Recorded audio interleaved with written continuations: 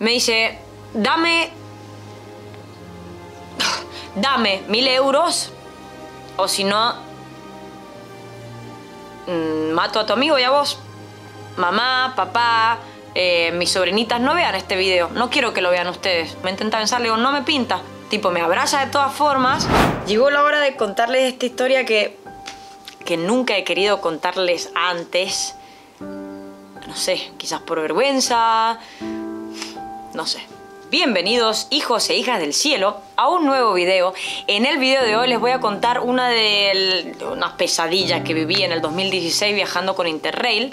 Pero antes, para aquellos que no me conocen, mi nombre es Evangelina González, vivo viajando desde el 2013 más o menos, eh, y en este canal hablo un poquito sobre idiomas, sobre viajes, eh, sobre culturas y nada, sobre lo que se me antoja el... Así que si te interesa te invito a que veas algunos otros videos de este canal para más o menos ver de lo que va, darte una idea y si te gusta te suscribís. ¿Te parece bien? ¿Te parece bien? Bueno... Vamos a ir directo al grano porque esos videos de YouTube que tardan como 3 minutos en dar una pinche introducción me la resudan. En el 2016 yo cumplí uno de los sueños más grandes que tenía sobre mi viaje en Europa, ¿ok? Era viajar con el Interrail. Interrail es básicamente una empresa que ofrece un ticket ofrece varios tickets, pero uno en especial que te permite viajar por toda Europa con solo ese ticket que compraste. Entonces yo planifiqué mi viaje por Bélgica, Holanda, Francia e Inglaterra, porque mi sueño era llegar a Liverpool. Y bueno, conocer París y todas esas huevadas que la gente normalmente hace cuando viene a Europa. Me voy a acercar a la cara porque ahora viene el chan. Este viaje lo hice con muy poco presupuesto. Mi idea era quedarme en hosteles, estaba empezando a cranear la idea de este YouTube, estaba aprendiendo a filmar, estaba aprendiendo a editar. Gracias a Dios, en los últimos cinco años he mejorado un poco porque era bastante baja la calidad. ¿O no? Que alinfinito.com es el mejor blog de viajes. Generalmente cuando viajas de noche, te harás la noche en el hostel. Voy a Bélgica, a Bruselas, y decido viajar a París y veo que hay una conexión con Lille. Lille queda al noroeste de Francia. Estoy en Francia, en Lille francés. Tenía que llegar a Lille y esperar cuatro horas o cinco horas, ya no me acuerdo precisamente, en la estación porque mi tren salía como a las tres y media, cuatro de la mañana. Yo en ese momento decido no reservar ningún hostel y esperar en la estación de Lille, como lo venía haciendo. Yo llegaba a las once y media de la noche y bueno, tenía que esperar cuatro o cinco horitas y tomarme el otro tren a París. Fuck. Qué noche de m loco. Me siento en la estación, las estaciones en Francia tienen pianos. Y bueno, yo sé un poquitito de piano, entonces estaba como... Se me acerca un chico ya no me acuerdo el nombre, le vamos a poner que se llamaba Pepito, se llamaba Pepito. Entonces Pepito se sienta al lado mío y me escucha y dice, ah, ¿haces música? Ah, también tenía mi guitarra, yo estaba viajando con mi guitarra. Me dice, ¿haces música? algo así, más o menos. Hablaba inglés, que era muy extraño encontrar gente en Francia y más fuera de París que, hablase inglés. Pero este chico hablaba inglés porque tenía una novia, al parecer, americana. Eh, perdón, se dice estadounidense. Entonces empezamos a charlar me mostró un par de cositas en el piano y en eso llega la policía y nos dice, vamos a cerrar la estación. Y le digo, ¿cómo es que van a cerrar la estación? ¿Por qué cierran la estación? Pero si mi tren viene en cuatro horas, no me dejaría quedarme acá adentro. No, eso no se puede, bla, bla, bla. Y le digo, ¿y dónde puedo esperar? Hay otra estación donde duerme la gente a no sé cuántos kilómetros. Pero me sonaba más a que ahí dormía gente de la calle, porque era una estación eh, local, no era una estación a largas distancias. Y digo, bueno, me quedo recalculando. Recalculando. Y dijimos, bueno, vamos a buscar un cigarrillo y vamos a algún bar a esperar. me vienen recuerdos de esta historia y son son bastante abrumadores, la verdad. Es como que mm, hay un montón de historias que no he contado en el canal para no asustar a la gente, para no desinspirar. ¿Cuál sería lo contrario de inspirar? Y más a las chicas que quieren viajar solas. Eh, Mm. Salimos de la estación y vamos a un kiosco que estaba como a dos minutos de la estación. Entramos, había un montón de gente afuera, ya era tarde, eran como las doce y media, una de la mañana. Había un montón de gente afuera, eran hombres que hablaban diferentes idiomas, de Marruecos, de... A ver, no quiero sonar racista y... Había un montón de gente hablando un montón de idiomas. En Francia también hay un montón de inmigrantes y me parece perfecto, pero ese era el ambiente ahí, allá afuera del kiosco. Yo tenía, no sé, que tenía 19 años, Entro yo chiquitita, soy muy chiquitita, rubiecita, con una mochila gigante, una guitarra. Entro, eh, compramos dos cigarrillos. A ver, no había tanto dinero para comprar un paquete, no queríamos fumar todo un paquete juntos. Y tipo como que dos chabones nos hablan, ¿ok? Bueno, le hablan a Pepito, le hablan en francés, ajá, me hacen un par de preguntas, me sonríen, jaja. Y esas sonrisas que me pegaron fue como... Mm". Entonces empezamos a caminar dans l'avenue, en la, en, la, en la ruta. Empezamos, no en la ruta, en una calle gigante. En, Francia son como súper gigantes las calles, tienen árboles a los costados. Empezamos a caminar y a caminar y a caminar. Y de repente estos dos chabones que estaban en el kiosco nos alcanzan. Tucu, tucu, tucu, tucu. Cuando estos dos chicos se nos acercan, empiezan a hablar entre ellos tres en francés. Y yo a ella empecé a sentir una vibra rara y bueno, nada, empiezan a preguntar, ¿de dónde venís? ¿Venís de Alemania? Le digo, eh, sí, vivo en Alemania. No, no le di más explicaciones, no tenía tampoco las palabras, había que utilizar a Pepito como traductor, qué sé yo.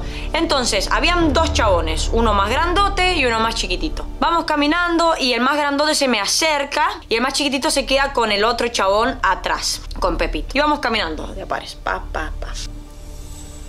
Eh, wow, me está gustando contar esta historia, ¿eh? Entonces, vamos a ponerle que este chabón más grandote se llamaba Chupa... Ah, no. Julián. Entonces Julián me dice, ¿habla francés? Le digo, no, un petit peu. Je ne parle pas français. Le digo, ¿hablas inglés? Me dice, mm, mm, no. Y me dice, ¿hablas alemán? Le digo, ya, yo hablo alemán. Ah, bueno, yo también hablo alemán. Le digo, ¿por qué hablas alemán? Porque viví con mi familia en Alemania, qué sé yo, qué sé cuánto ya no me acuerdo más que, que hablábamos. Y en un momento, en un momento me dice, vos venís de Alemania, tenés dinero. Yo vengo de Marruecos, soy pobre, mi familia es pobre, no tengo nada. Le digo, no, mm, no sabía cómo explicarle en alemán. Mi alemán por aquel entonces era una poronga, no le podía decir chabón. Yo, dinero, hello, no.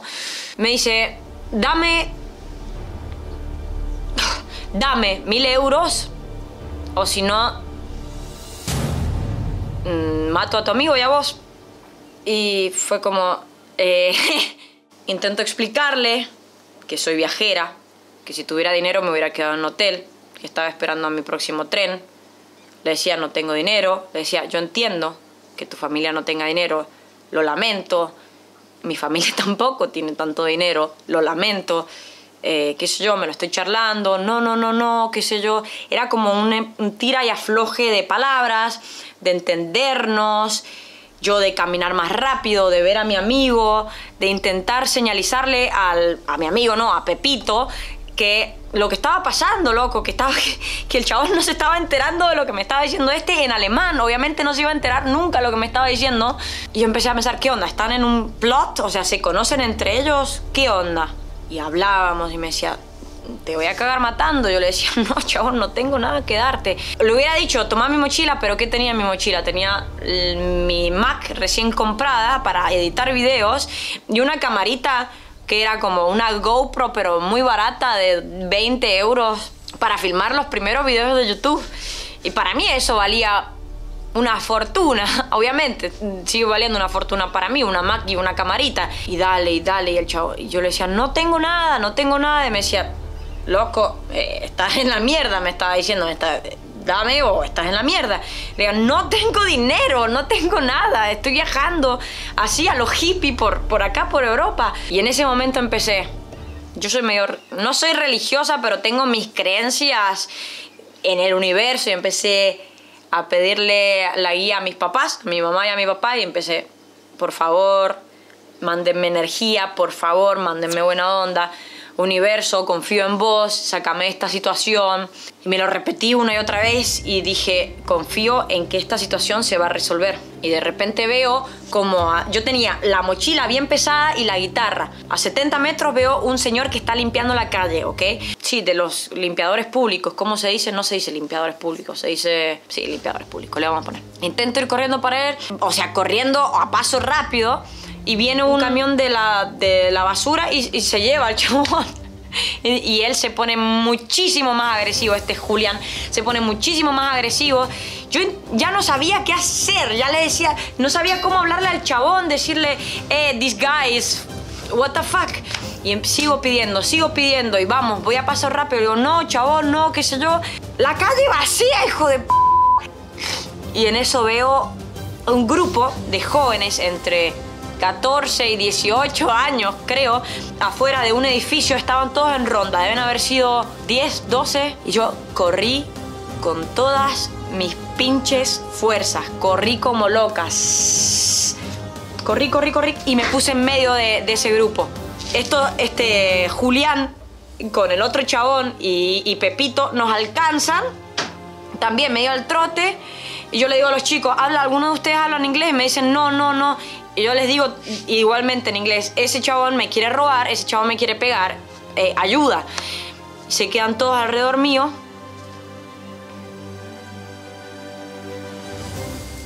Y el chico me dijo, te, voy a agarrar.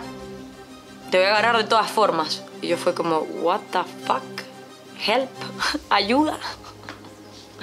ah, qué noche, loco. En ese momento le digo, le explico a Pepito en inglés y a todos los chicos, no sé qué me habrán entendido, le digo, ese chabón me quería, me quería, nos quería pegar, quería dinero, yo no tengo dinero y les expliqué más o menos la situación y ahí Pepito dice, ah, lo voy a cagar a piñas, qué sé yo, qué sé cuánto. Le digo, no, yo, vámonos, vámonos a un bar, por favor, no, basta. No, de haber sabido lo hubiera pegado, qué sé yo. Fue como, mm, ya estaba. Entonces todo ese grupo de chicos nos escoltan a una calle donde hay varios bares, ¿ok? El tema es que la historia no termina acá, cuidado, ojalá terminar acá, ojalá terminar acá.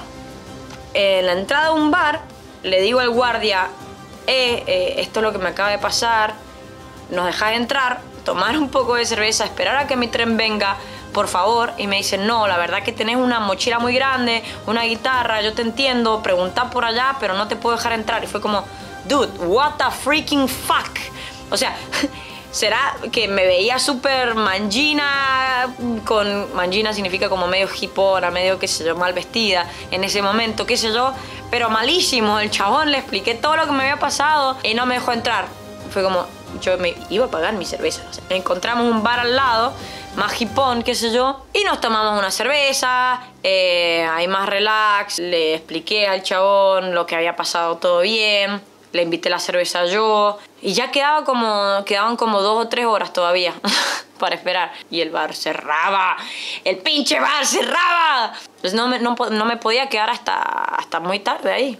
era como qué paja, ya no sabía qué hacer ahora con mis herramientas me lo hubiera charlado al dueño del, bar y decirle, chabón, déjame dormir acá, qué sé yo, te pago, qué sé yo, no sé, no sé qué me hubiera, sé que con las herramientas que tengo hoy en día yo hubiera sobrevivido a esa situación muchísimo mejor.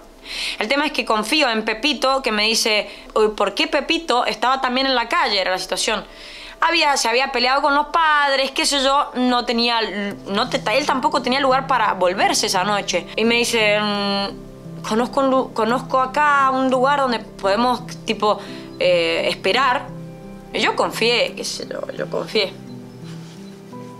Seguramente habrá más de un pelotudo que dice en los comentarios, te pasa por confiar, bla, bla, bla, qué sé yo. Son experiencias que no tienen la vida. Ahora, en este momento, tengo otras herramientas. En aquel momento no las tenía. Y quizás esta historia le ayuda a alguien a prever lo que puede ocurrir, lo que no puede ocurrir. También yo en aquel momento no sabía decir que no. Es experiencia de la vida.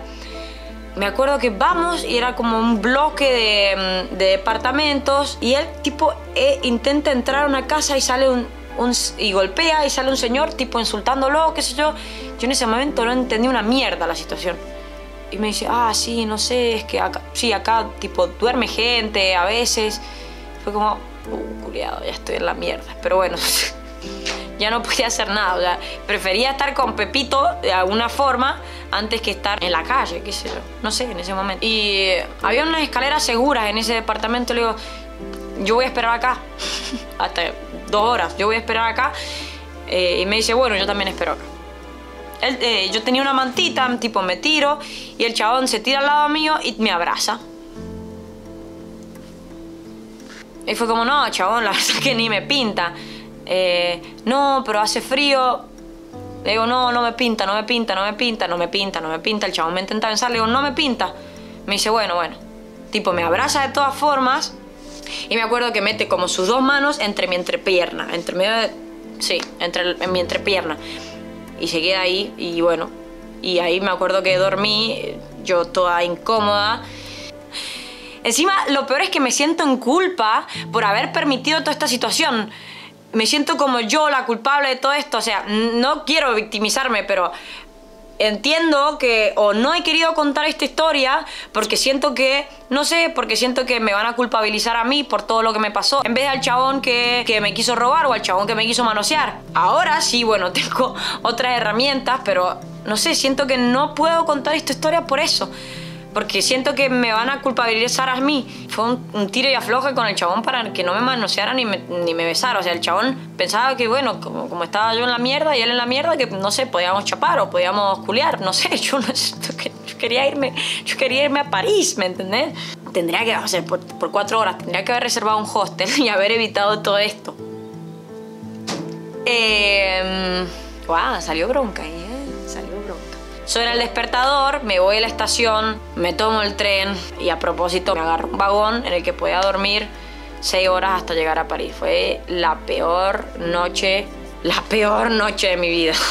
Quería contarla, no sé qué reflexión sacar más allá de, de no sé, el video que dejé acá, de cómo viajar siendo mujer, quizás un par de cosas que, que puedan solucionar aquellos problemas. Y a los chabones les digo, dejen no viajar en paz, culiados. No sé, no sé qué reflexión tengo, más que quería contarlo. Son cosas que pasan en el viaje, son riesgos que también corremos al ser mujeres viajeras, son riesgos de, de aprendizaje. Gracias a Dios puedo contar lo que me pasó. No sé a otras personas qué onda. Es que los aprendizajes que saqué no sé cómo ponerlos en palabras, ¿me entendés? Creo que, creo que el aprendizaje, más allá de todo, es que, que, que estas experiencias no hagan que dejemos de viajar. O sea, que el mundo en el que vivimos no haga que decidamos no viajar por miedo.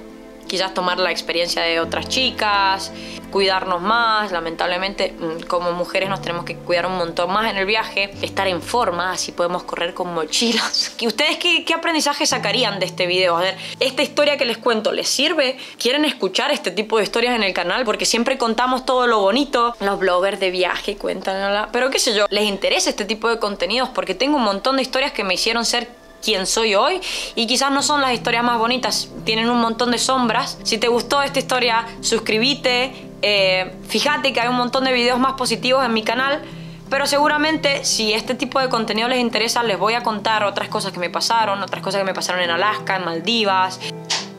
Y nada, a seguir viajando pese a todo, hijos del cielo. Nos vemos en un próximo video eh, ATR, Huachinche, Catatepiola, La Goya. Estoy por recorrer cinco países en cinco continentes diferentes con mi longboard eléctrico, ¿ok? Va a estar muy manso, así que te recomiendo suscribirte acá a YouTube y te recomiendo seguirme en Instagram. Nos vemos en, la, en el próximo, nos vemos en el próximo video, hijo del cielo.